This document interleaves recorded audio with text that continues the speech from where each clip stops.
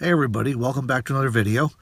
I, a few weeks ago I did a video uh, showing the tour of how I'd set up the minivan. And I think I may have mentioned then that I was, I was sure I'd make some tweaks to it. Uh, what I did not expect at that time was how soon I would make a little adjustment that would have a big impact on my experience here in the van.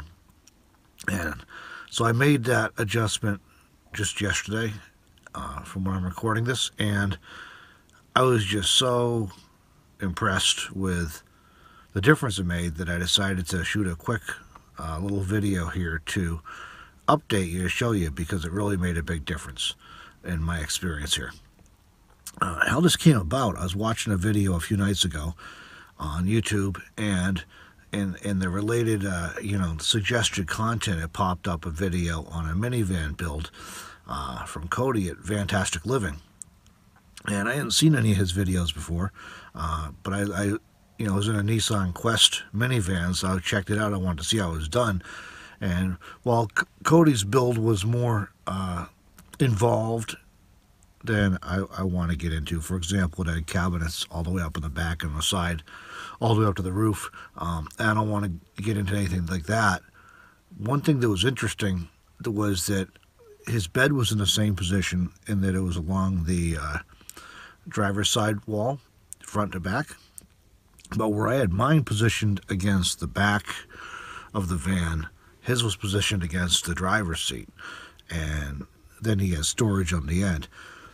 Now, the reason that was significant to me, because it's only a difference of a foot or a foot and a half, depending on the van and where the bed's positioned. But I had left my, I had done it that way thinking it was leave me access from my side door still on the driver's side because um, this van has sliding doors on both sides. And what I discovered is that, you know, that foot or so gap between the end of the bed, the driver's seat, the battery box there, I didn't use it. It wasn't even useful. Um, so by sliding the bed forward, uh, it does two things. One, uh, as, as Cody pointed out in his video, it provides a backrest. You can use the, the seat back uh, as a basically a backrest if you want to sit on the bed. Uh, but it also changes your storage dynamics on the end of the thing, which allowed me to move everything around. So uh, the first build out I had, it worked, it was functional, but it was too cluttered for my liking. And I felt like it was just too crowded. So just by making, sliding the bed forward, the battery's under the bed now, and then I'm able to change the storage in the back, and it just made things so much more open. So I'll give you a quick look at it, and you can see what I mean. You can see the, uh, now the bed is moved up all the way against the uh, back of the driver's seat. And then as we go back, what it does is opens up more room in the back for storage behind it. Um, the plastic bin that was turned sideways is now against the uh, back door. And I still have storage underneath here. Uh, you can see in the front there is the battery box and there's the charge controller hanging on the side. Uh, and then my food box.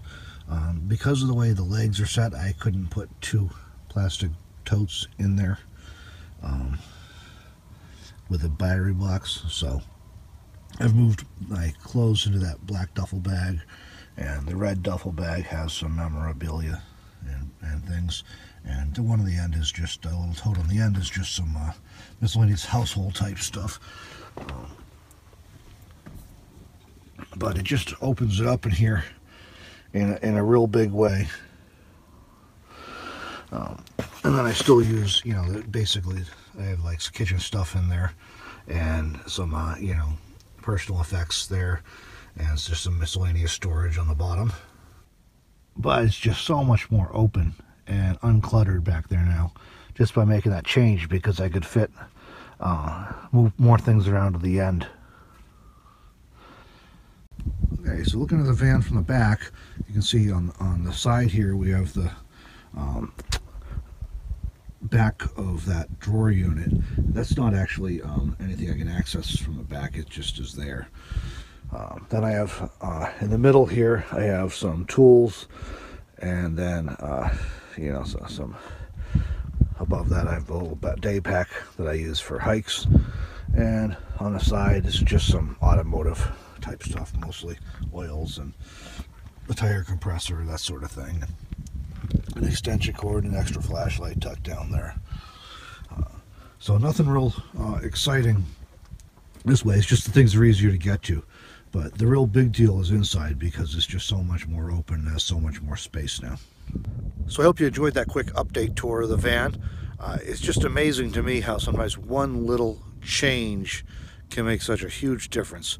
So I guess my my uh, encouragement to you to be if you're in a van or getting ready to get into a van or any or even an SUV or anything, you know, don't be afraid to experiment a little bit and to try out different things, uh, to move things around. Because in this case, I moved the bed about a foot and that just changed all kinds of other things I could do and just made it just such a big difference for me in terms of opening the van up, making it more comfortable and less cluttered and, and giving me more room. So fantastic improvement from just one little thing.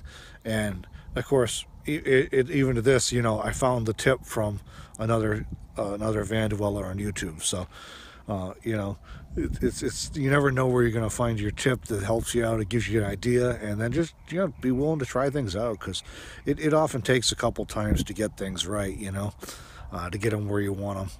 So don't be afraid to try that. And I hope you enjoyed this quick update, and we'll see you in the next video.